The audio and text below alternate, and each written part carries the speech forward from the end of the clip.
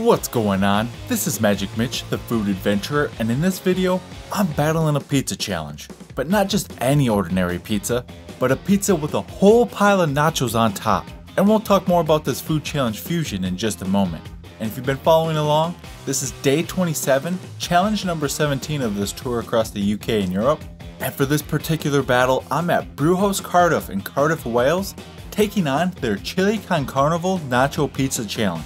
And I was definitely excited for this one because it would be the first time that I would ever take on a pizza challenge where there's basically full-blown nachos as a topping. That's right, you got a big old pizza and that thing is topped with chili beef, cheese, chips, salsa, sour cream, and guacamole. You also have a few jalapenos in there which Thank goodness there wasn't too many of those because I did not want to run the risk of just absolutely liquefying my insides. But anyways, you have 30 minutes to finish this challenge and if you're able to do so, you are rewarded with the meal for free which costs 23 British pounds and your picture up on their wall of fame. Now at the time of filming this challenge, it was technically undefeated, though someone had beaten an earlier version of this that was being test piloted, but they made some changes to it before it officially launched. And since then, about 30 or so people have fallen victim to this monstrous nacho pizza creation. And I tell you what, I was going to do my best to make sure that I was not one of them. Which is of course why I suited up in my turtle armor and my pizza socks. To give me those enhanced magical food fighting abilities against this pizza type monstrosity. As far as my game plan for this food challenge, it was actually going to be a mix of strategies I use for both pizza challenges and nacho challenges. For the pizza aspect, I'd be eating some of the inside of the pizza first, saving that crust for later, then maybe even making a few pizza sandwiches along the way. As for the nachos, generally with nacho challenges, if the chips aren't softened up from the toppings, they just absolutely shred the inside of my mouth. And when you throw salt into the mix, it's not a good time. So I was also going to try to portion out some of the toppings as best I could, but in this case, I did also have the added option of using some of the pizza for that, you know, having some pizza, mix it in with the chips. Once that was done, I'd go back to finishing the pizza crust, then clean up whatever toppings I had left using my mighty big spoon. And now, before we get into my thoughts on this food challenge, we're gonna do question of the day. And today's question is, do I ever get lost while traveling overseas? And uh, the simple answer is yes, like all the time. So here's the thing.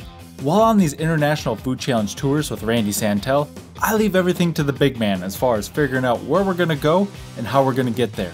And part of that is because he has more of uh, what you would call situational awareness, though that's not really saying too much between the both of us. But also, he does have a phone with more robust internet capabilities to use overseas. And speaking of phones, we definitely need to address a certain addiction of Randy's at some point. But there's definitely not enough time to dive into that rabbit hole here, so we'll save that for another day.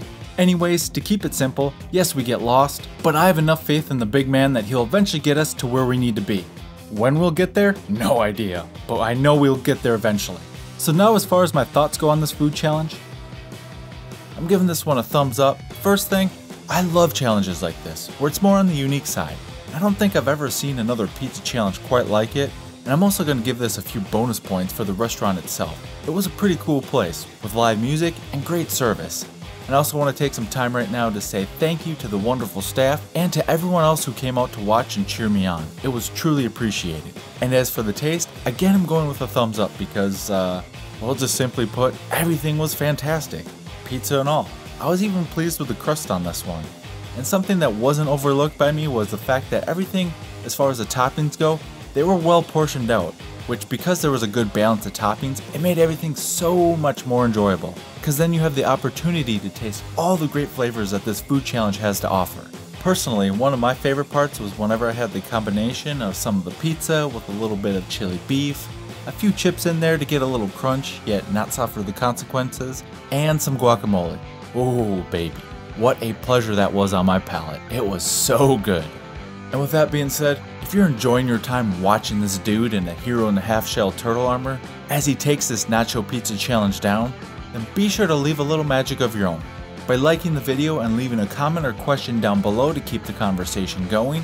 And if you would like to watch this trip from the very beginning, a link to the entire playlist will be down below, and I'll be sure to see you in the next food adventure.